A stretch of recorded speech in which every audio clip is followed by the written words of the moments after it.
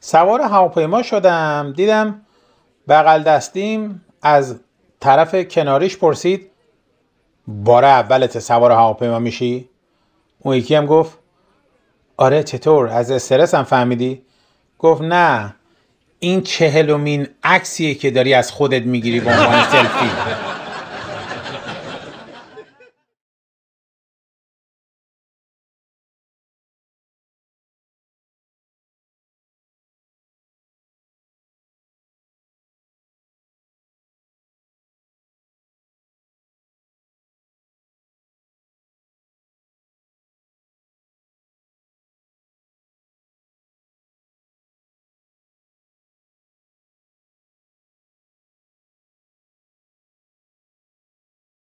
گفت نه این چهلمین عکسیه که داری از خودت می‌گیری به عنوان سلفی.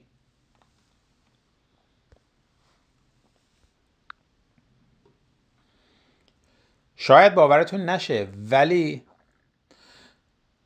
دخترای عزیز خانمای عزیز شاید باورتون نشه ولی پسرا قطعا از یه سری رفتارا خیلی بدشون میاد اولیش قرار کردن سر کوچکترین موضوع.